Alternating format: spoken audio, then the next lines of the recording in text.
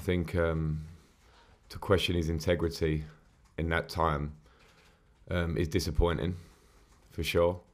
Um, because I think pretty universally, certainly what I heard in the, the, the commentary and the, all the post-match reflection was that the Son incident was a red card. Um, I would like to think the players know that I'm with them on anything like this.